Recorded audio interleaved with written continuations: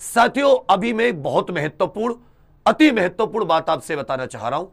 अब सभी लोग प्लीज़ सारे छोटे भाई बहन बहुत ध्यानपूर्वक सुने। अब सभी के, आज के बाद के जीवन के लिए बहुत इंपॉर्टेंट चीज़ है। अब सभी जानते हो, उत्तर प्रदेश पुलिस कांस्टेबल, साठ भर्ती का री एग्ज़ाम तीन दिन छह शिफ्ट हो चुकी है, और दो दिन बाद साथ आपकी तीस इकतीस की शिफ्ट भी खत्म हो जाएँगी। तो जिनका तेईस, चौबीस, पच्चीस को था, वो फ्री हो गए। और जो साथी तीस इकतीस का है। उसके बाद में फ्री हो जाएँगे। आपने सभी ने बहुत अच्छे से पढ़ाई की। ईमानदारी से बताइए सब लोग कमेंट्स करके कि किस किस ने बहुत ही ज़बरदस्त जी तोड़ मेहनत की है। आप सभी जानते हैं आपने जी तोड़ मेहनत की है। आपने जी तोड़ मेहनत की है। इस बार और आपने रात दिन एक कर दिया। यही किया ना? रात दिन जैसे कहते ना, एक कर देना। आपने सच में रात दिन एक कर दिया। मैं देखा रात को दो बजे क्लास है तो भी आप देख रहे हो। दिन में दो बजे क्लास है तो तो भी आप देख रहे हो। आपने अपना नींद, चैन, सुकून सब कुछ आपने दाप पे लगा दिया। उसका परिणाम क्या हुआ? उसका परिणाम साथी यह हुआ कि या तो आपका पेपर बहुत अच्छा गया है, क्योंकि आपने मेहनत की और वो आपका दिन भी अच्छा था। बहुत सारे बच्चों ने बहुत मेहनत की, लेकिन किन्हीं वजह से उनका पेपर उतना अच्छा नहीं गया। उतना अच्छा नहीं गया जितना उनको एक्सपेक्टेशन थी। चलो, अब ये जानते कि आपने चार विषय, आपने गणित पढ़ा है, आपने रीजनिंग पढ़ी है, आपने बच्चा जीके पढ़ी है और आपने बच्चा हिंदी पढ़ी है। आप ये जानते चारों सब्जेक्ट और चारों सब्जेक्ट में मैं कहता हूँ अच्छा गया, अच्छी बात है। अगर उतना अच्छा नहीं गया, बुरा गया है, तब भी मैं गारंटी कह रहा हूँ कि 50-60 परसेंट तो आपका बहुत अच्छा। मतलब आप डेढ़ सौ क्वेश्चनों में से सत्तर, पिछहत्तर, अस्सी तो ज़रूर करके आए होंगे। मतलब जहाँ बुरी हालात में थे, जहाँ आपको कुछ नहीं आता था, वह से आप, सोचो यहाँ से आपने चलना शुरू किया था। यह आधार था आपका, जहाँ पर आप शून्य थे।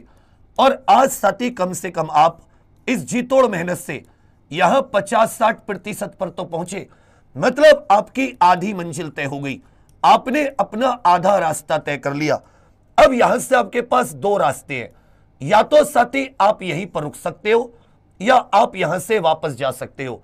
और एक रास्ता है कि आप यहाँ से दोबारा चलना शुरू कर सकते हो कि बचा हुआ जो 50 परसेंट है, उससे दिल पर चोट की तरह, उससे फन कुचले नाक की तरह, उससे बिल्कुल बेइज्जत हुए एक खिलाड़ी की तरह उसे बिल्कुल ऐसे जैसे युद्ध के मैदान में अभिमन्यु की तरह कि चारों तरफ़ दुश्मन और चारों तरफ़ विषम परिस्थिति, और फिर भी वो शेर का बच्चा लेके रथ का पहिया खड़ा हो गया। उसकी तरह भबकते हुए घायल शेर की तरह फिर से उठो कि क्या हुआ? अभी मेरा परिणाम 50 प्रतिशत तो है, इस 50 प्रतिशत की तरफ़ और बढ़ूँगा। और चार सब्जेक्ट आपके तैयार है। आपके पास दो रास्ते हैं। या आप उदास, रोना, पढ़ना, छोड़ना, ये सब कर सकते हो। लेकिन इससे परिणाम क्या मिलेगा? परिणाम तो वही हुआ ना, जो आज है। परिणाम तो वही हुआ ना, जो शून्य है। क्या कुछ परिणाम मिलेगा? जबकि असली कौन होगा? जब तुम्हें परिणाम मिलेगा। और परिणाम कब मिलेगा बच्चा? जब तुम आज रुकोगे नहीं, आज से तुम मेहनत शुरू कर दोगे। आज एसएससी जीडी का नोटिफिकेशन आना है। आप जानते बाबू, ये चारों सब्जेक्ट है। कतई भी शोक मत मनाओ। शोक मनाते कायर, वीर मनाते हैं लक्ष्य। शोर, शोक मनाते हैं कायर, और वीर क्या बनाते हैं? वीर बनाते लक्ष्य मंजिलों को। तो आज अपने आप को यह कसम उठा लो, ये अपने हाथ में यह प्रतिज्ञा उठा लो, उस एकलव्य जैसी कि ना हो गुरु का साथ, ना हो दुनिया में कोई। लेकिन अगर मैं विश्व का सर्वश्रेष्ठ धनुधर बनूँगा तो बनूँगा। उस अभिमन्यु की तरह क्या हुआ कि मैं चक्रव्यूह से बाहर नहीं निकल सकता? तोड़ तो सकता हूँ ना, आत्मविश्वास तो चटका सकता हूँ ना सबका। तो कहने का अर्थ क्या है बच्चा? यहाँ से तुम्हें वापस नहीं होना।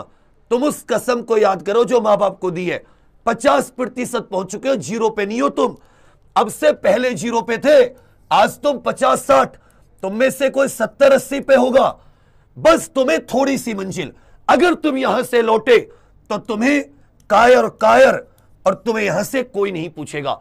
अगर तुम यहाँ से चले तो लोग तालियाँ बजाएँगे, तुम्हारी लाइब्रेरी तुम्हारे गाँव में, किस बच्चे का पेपर बुरा हुआ।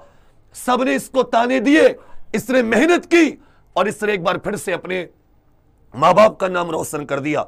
सोचो, अपने खिलाड़ी देखे होंगे। सोचो, आपने देखा होगा किसी खिलाड़ी का समय नहीं चल रहा।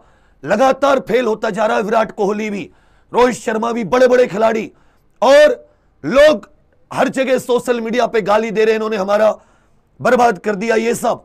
और वो अंदर से जुनून आता है, वो फिर से मेहनत करता है, वो फिर से लड़ता है, और वो फिर से खड़ा होता है, या वो हार मान जाता है। तो मुझे बताइए, परिणाम किससे मिलेगा? हार मानने से मिलेगा या लड़ने से मिलेगा? एक एक बच्चा कमेंट करके बताओ कि तुम परिणाम कैसे पाओगे? हार मान के वापस लौट जाने से, या फिर खड़े होकर लड़ने से फाइट करने से। याद रखिएगा, युद्ध के मैदान में तुम हार भी गए, लेकिन वीरता पूर्वक लड़े, तब भी दुनिया याद करती है। और अगर तुमने मैदान छोड़ दिया तो कोई पूछने वाला नहीं होता। हमारे पास सौ समस्याएँ हमेशा रहेंगी। तुम नौकरी पेशा भी लगा लोगे तब दस तरीके की नई समस्या आ जाएँगी। लेकिन याद रखिएगा, तुम्हारा काम है मुकाबला करना। बचपन से लेकर आज तक तुमने हज़ारों विषम परिस्थिति, हज़ारों तुमने बुरे वक्त देखे। तुम इससे भी नहीं हारोगे। अच्छा गया है। तीस, इकतीस तारीख की रात को बता दूँगा कि इतने मार्क्स आ रहे तो रनिंग मारो। जिसका नहीं गया, आज से ही। अच्छा भी गया तो भी। आज से ही लग जाओ, एस एस और मैंने क्या कहा? बस तुम अपना आत्मविश्वास मत हिलने देना। तुमने इस बार समय दे दिया। जिसने समय दिया होगा, वो इस बार बहुत खुश होगा। जिसने इस बार समय दे दिया आज से, इसलिए मैं एक दिन का रेस्ट नहीं ले रहा। आज आ रहा है, आज से साथी एस एस सी की पढ़ाई शुरू कर दे रहे। अब सभी को मैं बता रहा हूँ, आपका जो अपना एग्ज़ाम पर यूट्यूब चैनल है, जिस पर आप ये वीडियो देख रहे हो, इसी पर साथी आज हम लोग एस एस का जब नोटिफिकेशन आएगा तो एस एस के नोटिफिकेशन पर पूरी की पूरी वीडियो बनाऊँगा 10-15 मिनट की। एक एक एलिजिबिलिटी को चेक करना और एक एक एलिजिबिलिटी को चेक करके उसके बाद में तुम।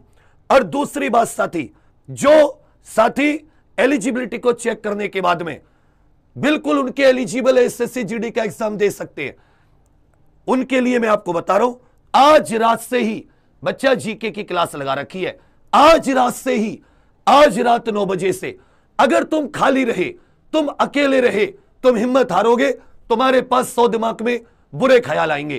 तुमने आज से ही अगर अपने आप को जोड़ लिया लक्ष्य से और ये लिख लिया, sir we will fight back बस मुझे एक ही शब्द चाहिए कमेंट्स में फाइट बैक फिर से लड़ेंगे, फिर से जीतेंगे और इस बार समय है, इस बार और बेहतरीन तैयारी करेंगे। यहीं पर उस क्लास का लिंक है। जो एस एस सी जी के, की क्लास है। अब सभी से निवेदन है, बच्चा, बिना बिना कोई सवाल जवाब किए इंटरनेट रिचार्ज कराइए और पैसे देने की बात नहीं कर रहा। और आज रात इस क्लास में सबसे पहले शुरुआत करेंगे, क्वेश्चन पूछे कैसे जा रहे हैं। और आज मुझे यह गारंटी है कि तुम इसमें 60 परसेंट ज़रूर सही करोगे। यह मेरा तुम पे भरोसा है। किस क्लास में तुम 60 परसेंट, तुम 60 परसेंट से शुरुआत करोगे, बाकी ज़ीरो परसेंट से। बस तुम्हें 40 परसेंट और लाना है। इसलिए आज रात नौ बजे। इसलिए मैंने लिंक यहीं पर, और एक दिन का रेस्ट नहीं है, क्योंकि वीरों की, योद्धाओं की ज़िंदगी में रेस्ट नहीं होते। एक लक्ष्य से दूसरे लक्ष्य की तरफ़। इसलिए मैंने कमेंट्स में यहीं पर यह लिंक लगवा रखा है। आप सभी का यह फ़र्ज़ बनेगा।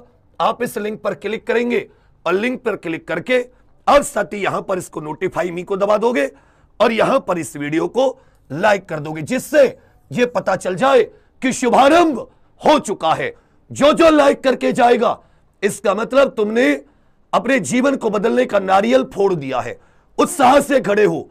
क्यों रोते हो? उत्साह से खड़े हो। बोला, एक ही। लड़ाई तो है। आधा तो आई गया ना मंजिल पर। वो कहते हैं ना कि ठोकरे जहर तो आज नहीं तो कल। मंजिल को जीत ही जाऊँगा। आज नहीं तो कल। इस मंजिल को जीत जाऊँगा। ये ठोकरे जहर तो नहीं, जो खाके मर जाऊँगा। ज़िंदा हूँ तो दिखाओ ज़िंदा हो। और एक अभ्यर्थी एक छात्र के जीवन में ज़िंदा है, जब तक तो उसकी कलम चल रही है। बोलो, लेखनी चलेगी? ये कलम चलेगी? लिख दो, कलम फिर से चलेगी। सभी से ऑफलाइन कमेंट्स चाहूँगा कि एक बार फिर से उठ के हाँ ये कलम फिर से चलेगी। तीन वक्त की ना सही, एक वक्त की रोटी खा लेंगे चार महीने और। लेकिन इस बार इस पचास परसेंट को सौ परसेंट पे लाके रख देंगे। कतई भी हिम्मत मत हारना, कोई गलत कदम उठाने की मत सोचना। तुम्हारे बड़े भाई अभी ज़िंदा हैं, ये लेखनी ज़िंदा है। ये हाथ, ये अभी फिर से अपनी किस्मत बदलने के लिए तैयार है, अपनी किस्मत अपने हाथों से लिखने के लिए। नहीं हारेंगे। भगवान से भी कहते बनाओ, जितनी विषम परिस्थिति बनानी है बनाओ जितने बुरे दिन बनाने हैं, हम लड़ेंगे और लड़ेंगे और जीतेंगे। तो तैयार हो रात नौ बजे एक एक बच्चा, ये लेखनी तैयार है। चलिए साथियों, हिम्मत मत हारना, अभी लक्ष्य और है अपने पास। जिसकी एज नहीं होगी, एलिजिबिलिटी नहीं होगी, एनटीपीसी ग्रुप डी, यूपीएसआई, हिम्मत नहीं हारने देंगे। ठीक है? ऐसे हिम्मत नहीं। एनटीपीसी ग्रुप डी, उसमें एज तैतीस तक होती है जनरल के लिए। S C S T OBC तीन साल, पाँच साल की छूट। और यूपीएसआई इक्कीस से अट्ठाईस जनरल, तीन साल की छूट लेकर आएँगे। पाँच साल S C S T OBC तो कते हिम्मत नहीं। लेकिन शुरुआत आज जीडी की है, शुरू कर देते और आरपीएफ है एनटीपीसी ग्रुप डी है। और तुम्हें कुछ मदद चाहिए कमेंट्स कर देना। दिल की बात पूर्ति कर देंगे। आप सभी के लिए बहुत सारी शुभकामनाएँ। बस इतना ज़रूर है कि आप सभी इसको साथ ही नोटिफिकेशन को ऑन कर लेना और इसे लाइक करके ज़रूर जाना। यही होगा युद्ध का शुभारंभ। संख बचता था ना, खुशी होती थी वीरों के, जब युद्ध होते थे ना, कायर कांपते थे, भागते थे, सोचते थे, भाग जाएँ। वीर आगे की पंक्ति में मिलते थे और पता है शुरुआत कैसे करते थे? शंख बजाकर। बोला, चीते आ गए। सामने वाले की लंका लग जाती थी। ठीक है, चलिए, ऐसे शुरू करेंगे। देखते हैं कैसे मंजिल नहीं मिलेगी। ऐसे हँसी से, ऐसे उत्साह से। थैंक यू धन्यवाद। जय हिंद